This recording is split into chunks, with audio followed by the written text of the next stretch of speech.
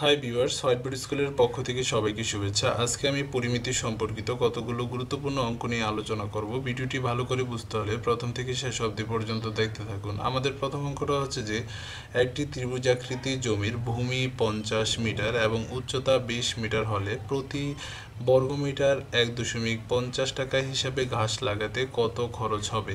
অর্থাৎ এখানে দেওয়া আছে যে একটি ত্রিভুজাকৃতি জমির ভূমির পরিমাণ পঞ্চাশ মিটার এবং উচ্চতার মান দেওয়া আছে বিশ মিটার। তো প্রথমে আমরা ত্রিভুজাকৃতি জমির ক্ষেত্রফল বের করব। ক্ষেত্রফল বের করার সূত্রটা হচ্ছে হাফ ইন্টু ভূমি গুণন উচ্চতা। তো এখানে ভূমির মান দেওয়া আছে পঞ্চাশ মিটার এবং উচ্চতার মান দেওয়া আছে বিশ মিটার। তো এবার দুই দ্বারা যদি আমরা বিশকে ভাগ করি, তাহলে এখানে হয় দশ। দশ দ্বারা পঞ্চাশকে ভাগ করলে এখানে হয় পাঁচশো। অর্থাৎ আমরা ক্ষেত্রফল পাইলাম যে পাঁচশো বর্গমিটার। তো আমাদের বের করতে বলছে যে প্রতি বর্গমিটার যদি হিসেবে গাছ লাগাতে হয় গাছ লাগানো হয় তাহলে কত টাকা খরচ হবে? তো এক বর্গমিটার গাছ লাগাতে খরচ হয় এক দশমিক পঞ্চাশ টাকা, তাহলে পাঁচশো বর্গমিটার গাছ লাগাতে কত খরচ হবে? অর্থাৎ পাঁচশো দ্বারা গুণ করতে হবে।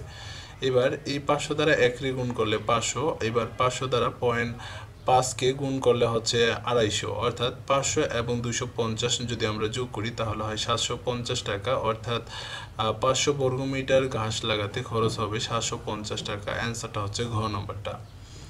আমাদের পরবর্তী অঙ্কটাতে দেওয়া আছে, একটি ত্রিভুজাকৃতি জমির ভূমির পরিমাণ পরিমাপ আশি মিটার এবং উচ্চতার পরিমাপ পঁয়তাল্লিশ মিটার। জমির ক্ষেত্রফল কত? অর্থাৎ ক্ষেত্রফলের সূত্রটা হচ্ছে যে হাফ ইন্টু ভূমি গুণন উচ্চতা। তো এখানে দেওয়া আছে হাফ, ভূমির মান দেওয়া আছে আশি মিটার এবং উচ্চতার মান দেওয়া আছে পঁয়তাল্লিশ মিটার।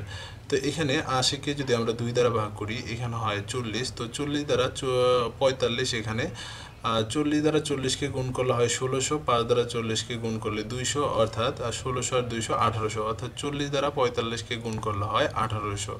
অর্থাৎ এটাই হচ্ছে অ্যান্সার। তো জমির ক্ষেত্রফল হচ্ছে আঠারোশো বর্গমিটার। অ্যান্সারটা হচ্ছে ক নম্বরটা। আমাদের পরবর্তী অঙ্কটা দেওয়া আছে যে একটি বর্গক্ষেত্রের প্রতিটি বাহু দশ পার্সেন্ট বৃদ্ধি করলে ক্ষেত্রফল কত বৃদ্ধি পাবে?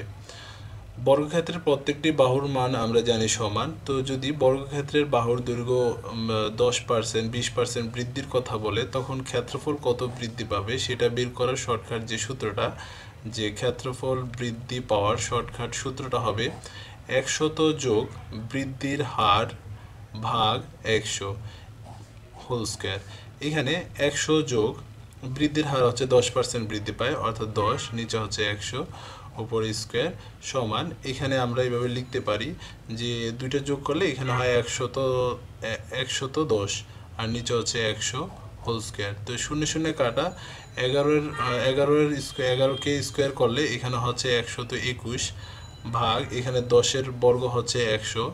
তো এবার উপরটা থেকে নিচেটা বিয়োগ করলে যত হবে, ক্ষেত্রফল তত বৃদ্ধি পাবে। অর্থাৎ এখানে হচ্ছে একশো একুশ থেকে আমরা যদি একশো বিয়োগ করি তাহলে ক্ষেত্রফল বৃদ্ধি পায় একুশ পার্সেন্ট অর্থাৎ অ্যান্সারটা হচ্ছে ক্ষেত্রফল বৃদ্ধি পায় একুশ পার্সেন্ট অ্যান্সারটা হচ্ছে গ নম্বরটা। তিনভাবে যদি আরেকটা অঙ্ক সমাধান করি, এখানে দেওয়া আছে যে একটি বর্গক্ষেত্রের প্রতিটি বাহুর দৈর্ঘ্য বিশ পার্সেন্ট বৃদ্ধি করলে ক্ষেত্রফল শতকরা কত পার্সেন্ট বৃদ্ধি পাবে?